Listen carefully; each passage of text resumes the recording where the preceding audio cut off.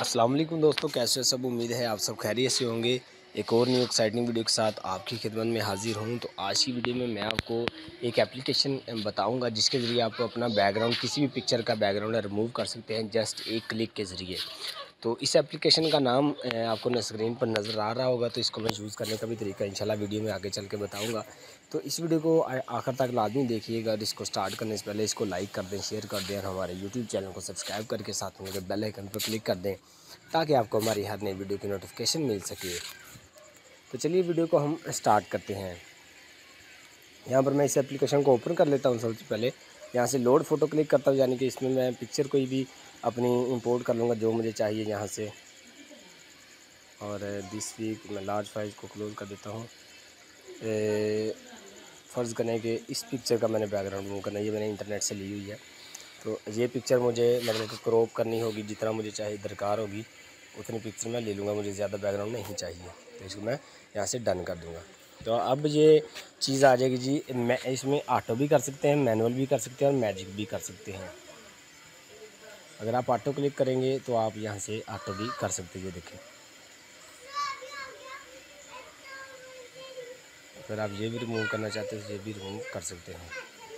Magic से भी remove इसी तरह से आप कर सकते हैं, ये देखें। इसको आप करते जाएँगे, इसको आप छोटा बड़ा भी स्क्रीन को जूम करके भी रिमूव कर सकते हैं। इसका साइज़ जो है छोटा बड़ा आप अपनी मर्ज़ी से कर सकते हैं। ये देखें। ये मैं मैं इतना एक्सपर्ट तो नहीं हूँ, लेकिन आपको जस्ट मैं एक आइडिया दे रहा हूँ, आप इस तरीके से कर सकते हैं।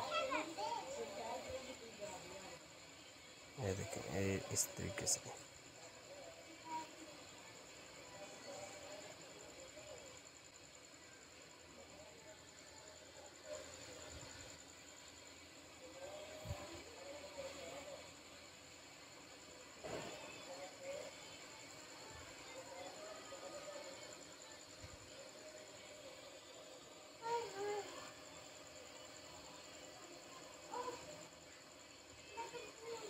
ये देखें उन्हें काफ़ी हद तक जो है बेहतर जो है रिमूव कर लिया है। अगर मैं मैनुअल करना चाहता हूँ तो मैं यहाँ से मैनुअल भी कर सकता हूँ रिमूव यहाँ से खुद से। मतलब कि जितना चाहूँ, उतना मैं रिमूव यहाँ से कर सकता हूँ।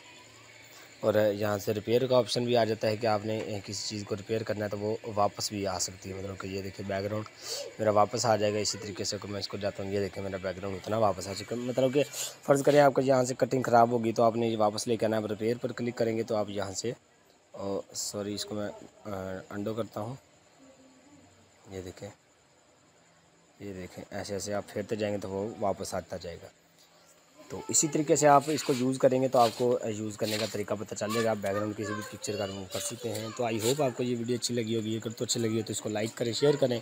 चैनल को सब्सक्राइब करें। अल्लाह हाफिज़।